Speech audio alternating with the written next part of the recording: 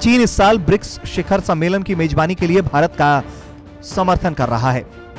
चीन ने अपना समर्थन व्यक्त करते हुए कहा है कि वो नई दिल्ली के साथ उभरती अर्थव्यवस्थाओं के पाँच सदस्यीय समूह के बीच सहयोग को मज़बूत करने के लिए काम करेगा। भारत 2021 के लिए ब्रिक्स शिखर सम्मेलन का आयोजन करने जा रहा है। 19 फरवरी को विदेश मंत्री एस जयशंकर ने दिल्ली के सुषमा स्वराज भवन में ब्रिक्स सचिवालय में भारत की ब्रिक्स 2021 वेबसाइट लॉन्च की थी। इस साल भारत द्वारा ब्रिक्स सम्मेलन की अध्यक्षता करने को लेकर पूछे गए सवाल पर चीनी विदेश मंत्रालय के प्रवक्ता वांग वेनबिन ने अपना समर्थन जताया।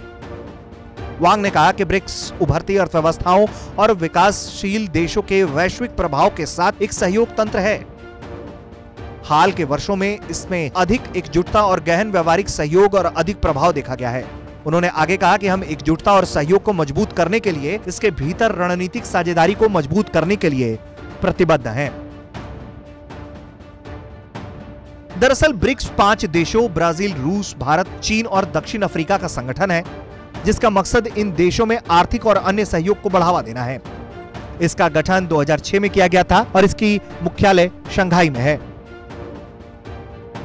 पहले केवल ब्राज़ील, रूस, भारत और चीन इसमें शामिल थे और दक्षिण अफ्रीका को 2010 में इसमें शामिल किया गया। भारत, रूस और चीन जैसे देशों की मौजूदगी के कारण दुनिया के ये सबसे महत्वपूर्ण संगठनों में से एक है। ब्रिक्स कितना महत्वपूर्ण समूह है, इसका अंदाज़ा इस बात से लगाया जा सकता है कि दुनिया की लगभग आधी आबादी, यानी कि 47 प्रतिशत इन देशों में रहती है और इनकी संयुक्त जीडीपी 16.6 ट्रिलियन डॉलर है, जो वैश्विक जीडीपी की 24 प्रतिशत है।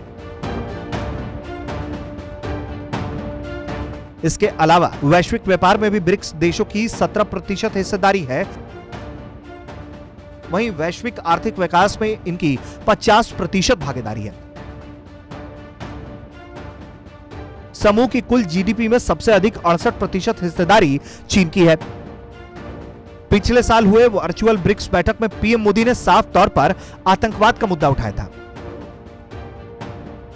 बैठक में जहाँ भारतीय पीएम ने आतंकवाद पर और कड़ी कार्रवाई की वकालत की थी तो वहीं चीनी राष्ट्रपति शी जिनपिंग कोविड से लड़ने में साझा प्रयास और वैक्सीन बनाने की गुहार लगा रहे थे। इस बार देखना होगा कि किन मुद्दों पर ब्रिक्स में ज़ोर शोर से आवाज़ उठती है।